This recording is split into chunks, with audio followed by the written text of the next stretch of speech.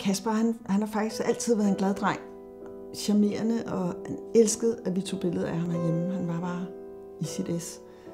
Øhm, men, men når vi kom ud blandt andre, så, så ændrede han sig, og det er ligesom andre ikke forstod den sygdom, han, han har. Øh, jeg tror faktisk, han opdagede det, da han startede i skolen, da de skulle til gymnastik. De andre børn kiggede underligt på ham. Der begyndte han at blive lidt mere indadvendt og, og ked af det.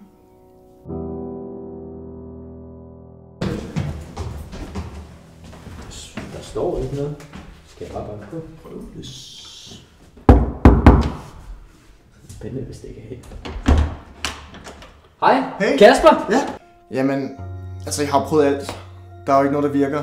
Og altså, jeg har prøvet at æde tre kager med, med mayonnaise på, der sker ikke en skid. Min omgangskreds, de sætter simpelthen nogle, nogle sindssygt høje krav, som bare er umulige at leve op til. De forventer noget, som bare ikke kan lade sig gøre.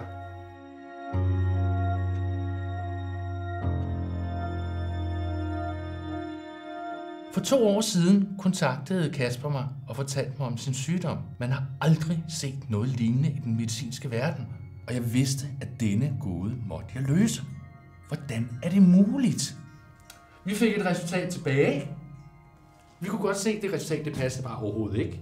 Jamen, det er lidt som at løse den sværeste sudoku i verden. Uanset hvilket tal du sætter ind i tabellen, så går den bare ikke op. Se, det passede ikke. Det kan ikke passe. Ja, men jeg har jo så øh, oprettet en Instagram-account, for ligesom at kunne skabe noget opmærksomhed på, på min sygdom. Altså, det er jo ikke ligefrem den, øh, den perfekte mad, men øh, den er jo... Øh... Hey, kan du ikke, kan du ikke snuppe et billede til, øh, til Instagram? Ja, til Instagram. Jo, selvfølgelig. Måske også finde nogle andre, som, som lider af den samme sygdom som mig, for at høre, hvordan de takler deres situation, og hvordan folk tager imod dem, men Ej, jeg har sgu ikke fundet nogen. Altså. Hvis der er split på, var ikke? jo, han nøs. Jo, han prøver at kigge på, Skal vi tage en ny? kig på billedet. Det er det, der jeg snakker om. Altså, det, det er derfor, I er her. Det er jo på grund af sådan der. Ser det altid sådan her ud? Altid. Du se, han, han var bare sådan en glad dreng. En rigtig charmeur. Vi kunne bare tage alle de billeder, vi ville. Det var, Hvor gammel er han her? jeg tror, han er halvanden, to år på det her. Så, så her der er han omkring seks.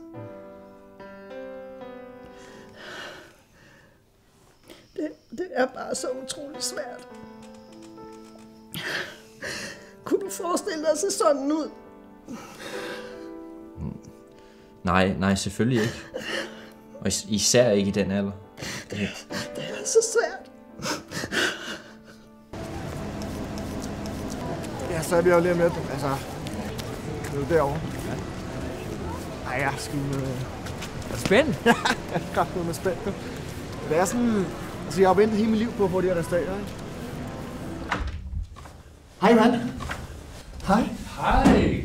Har du fået resultaterne? Det har jeg. Skal jeg lige love dig for. Ja. Og ærligt talt, jeg gider ikke mere. Nå. Jeg kan ikke mere. Det er slut. Hvad mener du med, du ikke kan mere? Ikke mere. Slut. Kasper har altså gået og glædet sig til de her resultater. Vi, Ja. vi bliver nødt til at høre dem. Kan vi... Har du to minutter, inden du smutter? To minutter. To Okay, minutter. sæt jer ned. Vi, vi skynder os. Jamen det, der er sket, det er, at de resultater, jeg har fået tilbage fra Tyskland, de er fuldstændig hul i hovedet. Det står så slemt til, så jeg har mistet troen på den medicinske verden. Men altså, det viser sig, at din mor, Kasper, hun fik at vide under graviditeten, at hun ikke måtte drikke. Og det gjorde hun selvfølgelig ikke. Men hun drak ikke engang vand. Kasper, du har simpelthen været dehydreret. Du har været så dehydreret, så fedt ikke kan binde sig på dig. Har, har du aldrig prøvet at drikke vand, Kasper? Uh. Altså bare et glas vand? Nej, nej, ikke rigtig. Nej. Drikker du ikke vand? Nej. Øhm, straighte. Ja. Jamen, Kasper.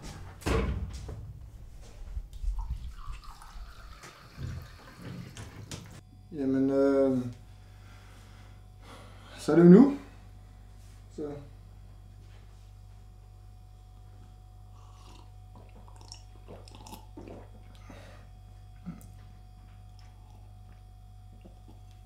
Okay. Fedt, mand.